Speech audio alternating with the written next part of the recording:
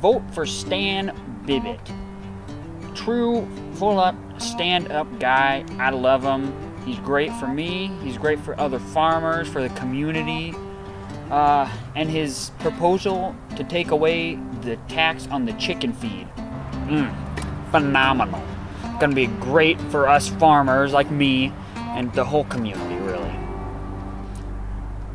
And you know, Stan is just so personal with us in the community. He he knows all the chickens in my coop. Uh, he knows my two triplet brothers. Great, great. And he knows my wife, my, my wife Marge. He knows Margaret. Gotta know the wife. Uh, huh. Uh. Oh, and Stan's always known little Rexy over here. Rex, Rex! Come here, bud. Hey, come here, buddy boy.